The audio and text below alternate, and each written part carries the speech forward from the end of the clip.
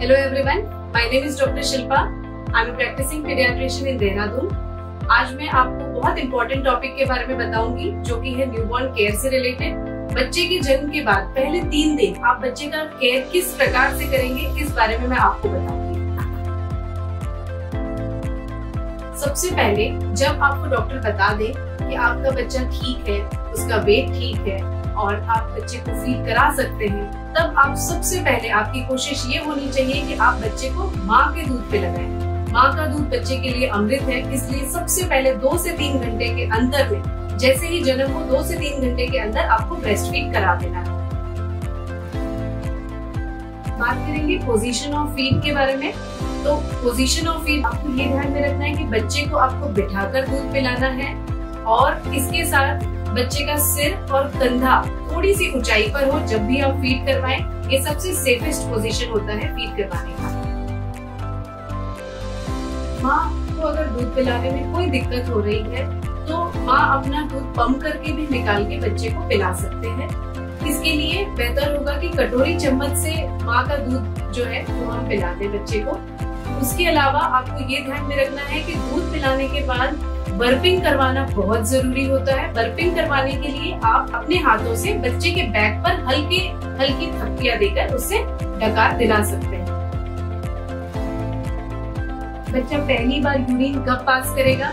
तो बच्चा पहली बार यूरिन 48 आवर्स के अंदर, अर्थात 48 घंटे के अंदर पास कर देना चाहिए। और स्टूल जो कि 40 बच्चा 24 घंटे के अंदर पास कर देना चाहिए। शुरुआत के दो से तीन दिन बच्चे की जो पॉटी है, वो गाढ़े हरे रंग की पतली चिपचिपी हो सकती है, जो जो कि बिल्कुल नॉर्मल है। इसके लिए आपको बच्चे को कोई मेडिसिन देने की ज़रूरत नहीं है। बच्चों में पीलापन स्किन में, आँखों में दिखाई पड़ना बहुत नॉर्मल है शुरुआत के दो से तीन दिन में। हर बच्चे को थोड़ा बहुत पीलिया होता ही है। इसमें आपको ये ध्यान में रखना है कि अगर पीलापन ज़्यादा बढ़े तो आप डॉक्टर को ज़रूर कंसल्ट करें। कई बार बच्चों में फोटोथेरेपी देने की ज़रूरत पड़ सकती है। इसमें आपको डॉक्टर के सलाह के अनुसार ही कार्य करना है। शुरुआत के तीन दिनों में बच्चे की स्किन में कई बार आपको रैशेस दिखेंगे, जो लाल कलर के चकत्ते से होते हैं। ऐसे लगते हैं जैसे मच्छर ने काटा हो।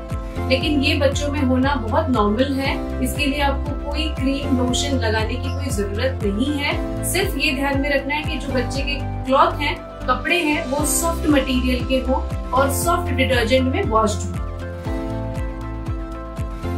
बच्चे के जन्म के बाद आप शुरू में बच्चे को स्पंज बाथ दें, सूती कपड़े या कॉटन का इस्तेमाल करके आप गुनगुने पानी में भिगोकर उसे सर से लेकर पैर तक अच्छी प्रकार से पोछ लें। बर्फ़ के बाद शुरुआत के दो से तीन हफ़्ते आप साबुन या सोप का यूज़ ना करें। कई बार इसके यूज़ से बच्चों के स्किन पे रैशेस हो जाते हैं।